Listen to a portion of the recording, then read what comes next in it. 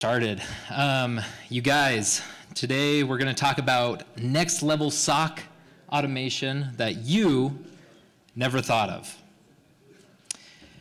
Who am I? I am John Gillis. I'm a cybersecurity automation enthusiast. And if you want to follow me on Twitter or look up my LinkedIn and or ask me questions there, I'm more than happy to oblige. So today we're just going to go over three things, and it's going to go really fast. And I apologize for that. Get your cameras out. If you see something you want to take a picture of, go for it.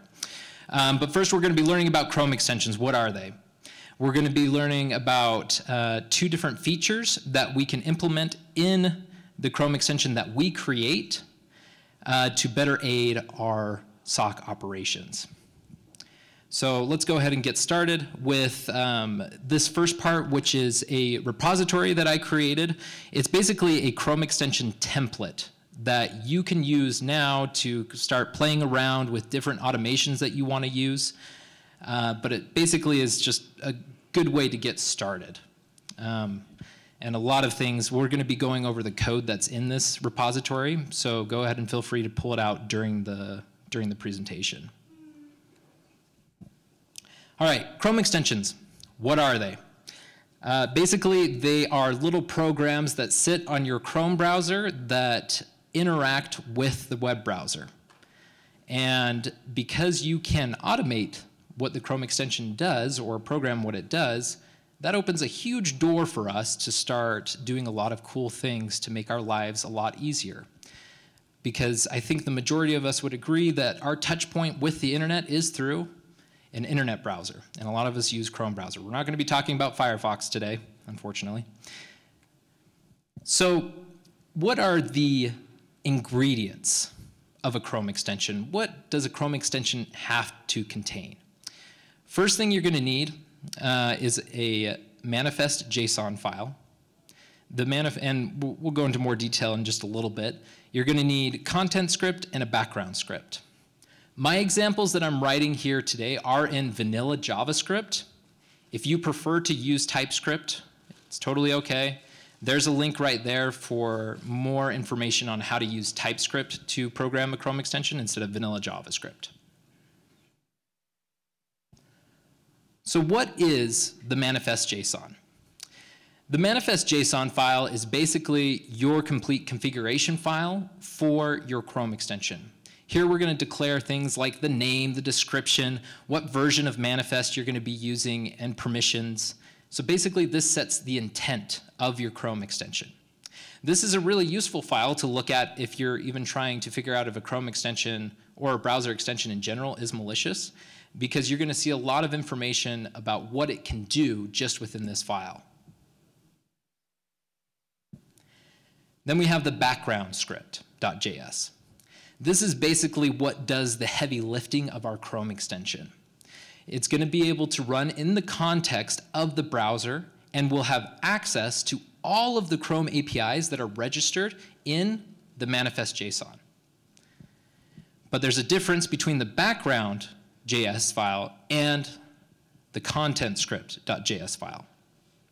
The content script.js file runs in the context of the internet website or the website that you're currently on. And a lot of, basically what it does is it injects a JavaScript file into the web page so that you can manipulate what we call the DOM or the document object model. You might ask, what is the DOM? A lot of people ask it. I'm not even sure at this point. I just know I use it a ton. But if we were going to describe it, it basically maps out the HTML page that you're looking at and makes it so that we can use JavaScript to interact with it. If you want to take a look at what the DOM kind of looks like, you can go to any web page, press F12, or right-click, select Inspect, and then go to the Elements page, and voila, welcome to the DOM, or as I like to call it, the jungle. So that's the boring stuff. We kind of know what a Chrome extension is. We know what files it needs in order to run. We're going to be running it with vanilla JavaScript. So why do I care? Well, let's do our first feature, which is injecting buttons into a web page. A lot of us may look at a lot of different Python projects off of pypi.org. And if you're looking at these projects, you might think to yourself, well, how do I know if there isn't some really well-known vulnerability with this Py project that I'm looking at? And the first thing that we usually would do, there's websites for it, but I'm guessing that we'd usually try to just Google it, you know, do the project and then Google, you know, vulnerabilities for this specific thing. The thing is, that's a lot of clicks, that's a lot of typing. I want to automate it so it's quick. So let's go ahead and do that. The first thing that we're going to want to do with our manifest JSON file is we need to declare the tabs permission set. You can read more about that, but basically that's what we need to put in our manifest JSON. Now our content script, this is where things get fun because this is where we're injecting the JavaScript into the web page. So let's go ahead and create a function and we'll call it, you know, create VT button or virus or create VT button right here. And the first thing that we kind of need to do within this context is we need to make sure that we are running the JavaScript on the correct web page because we don't want to just run this on every single web page that we go to. That can create problems and we just generally want to avoid that. So we're going to create a variable right there called current URL and that is set equal to windows.location.href, which that returns the URL of the page that we're currently view viewing at that point. And then we just write an if statement and say, hey, if our current URL includes pypi.org project, then I want to inject this button, or I want to begin the code to inject this button. The next line or box that we see below there is a function that says wait for Elm. This is a function that I found on Stack Overflow, um, so I'm not going to claim that I made it or anything. But basically, what it does is it waits for a specific part of the web page to appear before we start doing our next piece of code. So we're making sure that first, we're on the right web page, and then second, that the part of our web page that we're waiting for appears for us to see. Next, we want to select the area of the web page that we want to inject our button. In this case, I'm going to call it like the main menu area. I was like, it would be really cool to have a button that appears in this general area. And so in our code, what we do is we create a variable and say, okay, document.querySelector. Document says, hey, I want the whole entire DOM. And then I want to run this function called querySelector, which essentially says, give me an element or give me a class or a selector so I know what you want to select specifically. And once we uh, use that, now our main menu variable is that section of the web page that we're focusing on and that we can manipulate. Next, we have to create the button out of thin air. Super hard. Document.createElement button done.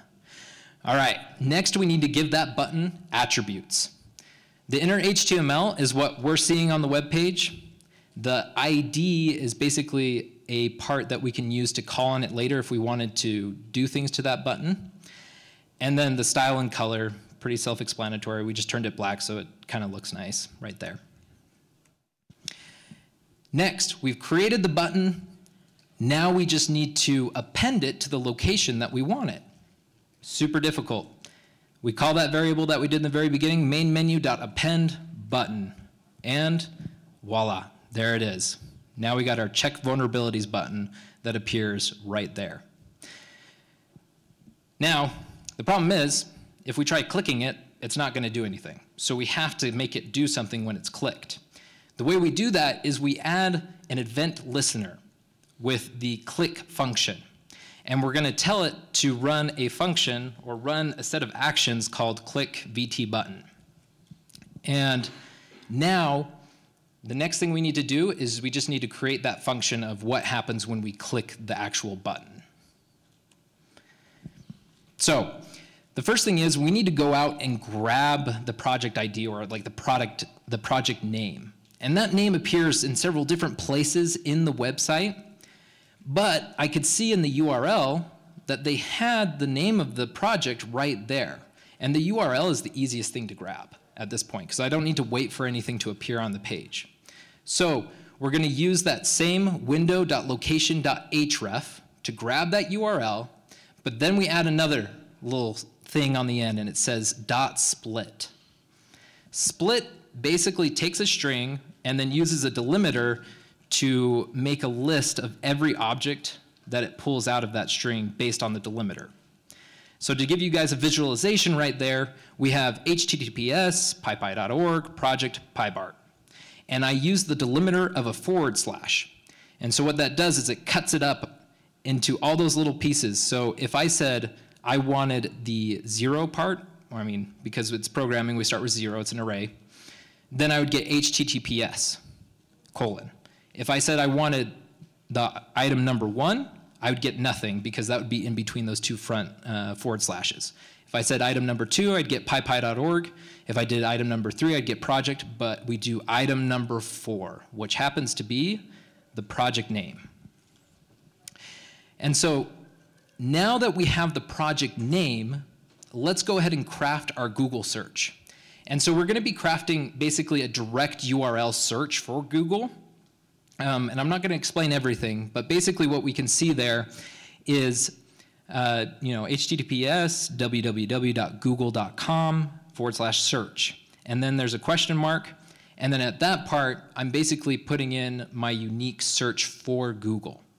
And I have that part of encode URI right there. So I can write pretty easily what I want to search, and then that encode URI will encode it for the URL. So when it's sent, it will treat it how it should.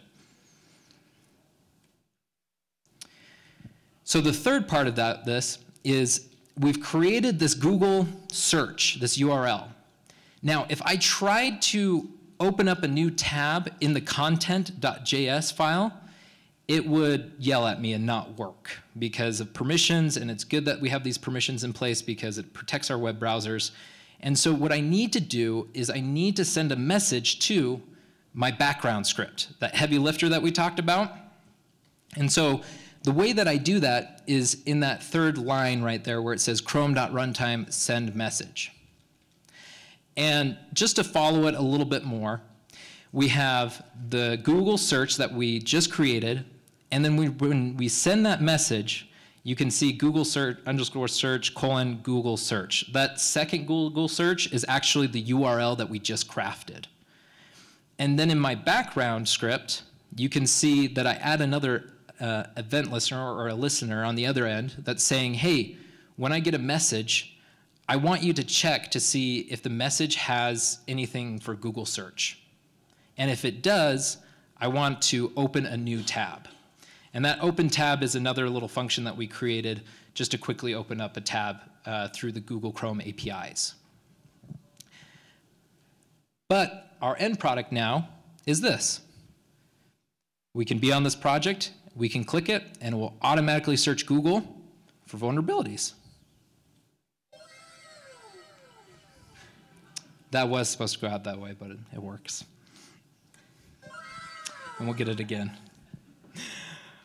So that was how to inject a button into any website and be able to make it do something with it, like open up a tab. Extremely useful. Feature number two, uh, building a context menu item.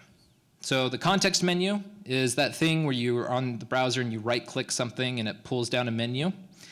Um, the manifest JSON permissions we need to set here are the context menus permission sets.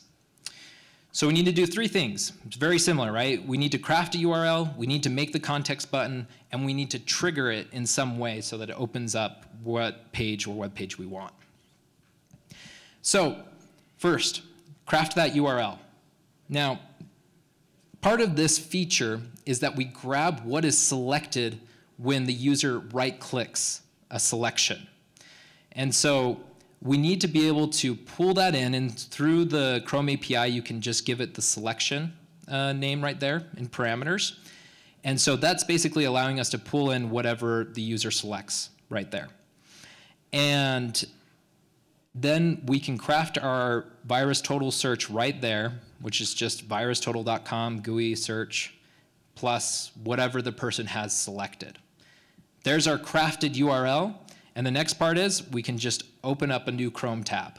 So chrome.tabs.create, and we give it the URL that we just crafted. And that index part, just basically what it does is it selects the index or the tab that you're on and then goes one over. So that way we're not creating tabs on another page or something like that. Next, we need to make the context button. And we do that by uh, making sure that we have another listener on our background script that is listening for on installed, or basically when the Chrome extension gets installed, it automatically registers this new Chrome extension uh, button. And the ID is what we're going to use to call back on this. The title is what you'll see in the, in the context menu. And then the context is when you see it. So in this case, when the user has something selected, this Chrome, uh, this context menu item will appear. Next, we need to make a trigger for it. So next, we, uh, we create another listener, and we say, hey, if the context menus is clicked, I want you to start doing something. And there we have the, the variable of the selection, the info, info.selection text, so that we know what the user selected, and we're pulling that in. And then we use a switch. And I'll be completely honest, anytime I have to make a switch, I have to relearn how to make a switch. So just a, basically what it is, a bunch of else ifs uh, that uh, work a lot better.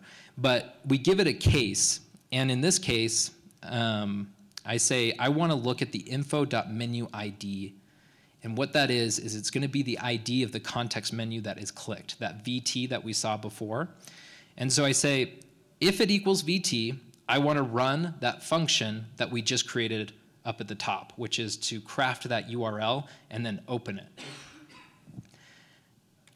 And now that we have that, you can now select something, go to your VirusTotal button, and it will automatically open VirusTotal with that search.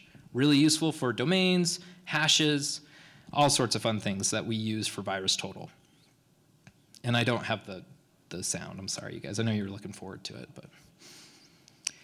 So direct URLs can do a lot of cool stuff. We used them in two instances with VirusTotal and Google.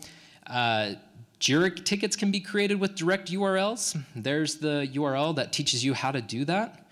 So if you like to make Jira tickets, um, that's awesome. But you can automate it, so it makes it a lot easier.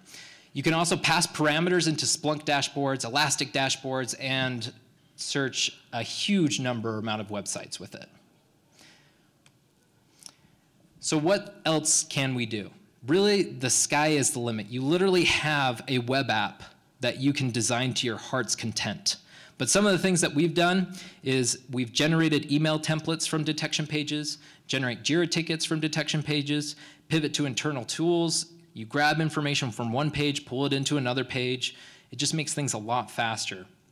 We've also designed like HTML, like little web pages that show you how many detections an analyst has or how many are in the queue currently. So your users can be up to date on that and just have it in a small tool right there. So where can you get more ideas?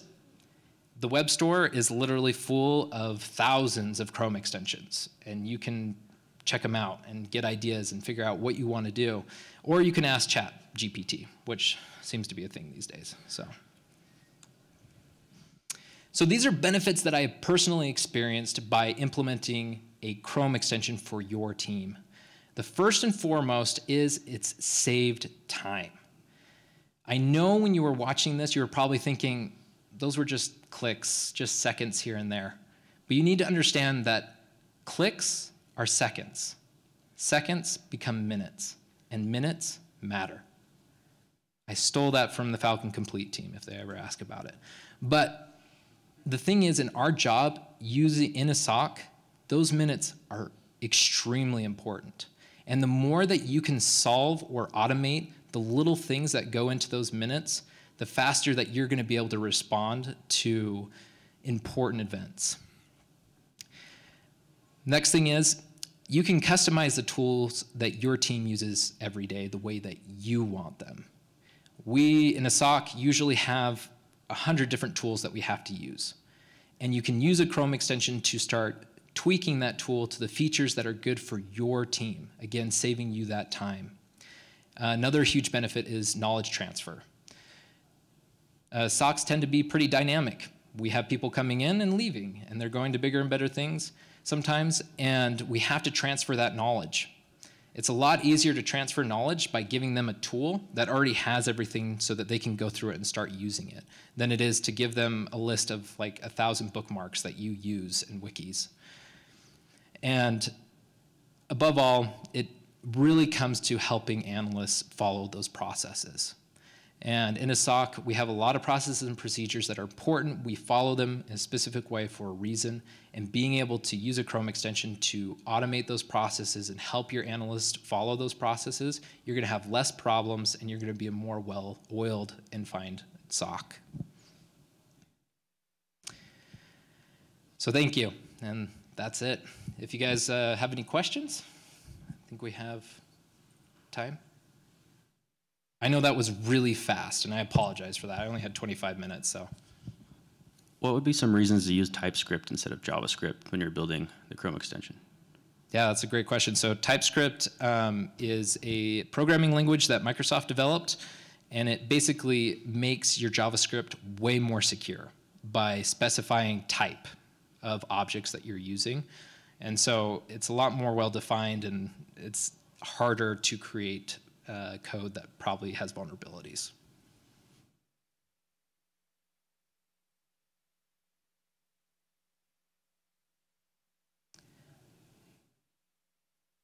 So the last thing I wanted to say on this is I know that the code might have looked a little bit intimidating. Um, I come from a background where I taught myself how to program, and I was not good at it for a really long time. I promise you that if you just try and use the, uh, the GitHub that I posted up there and just try to make things, the more time that you put into it, you will figure it out. It's not impossible, and there's a lot of resources out there. And so don't be, don't be scared to try it because you really can do it. And then once you see the benefits, you're going to get hooked. Yeah. Uh, yeah.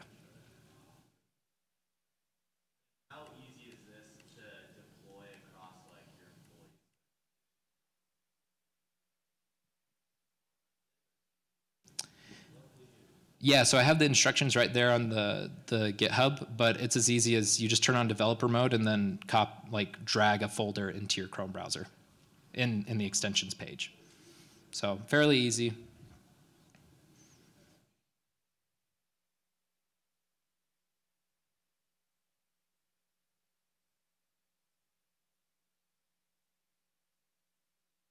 All right.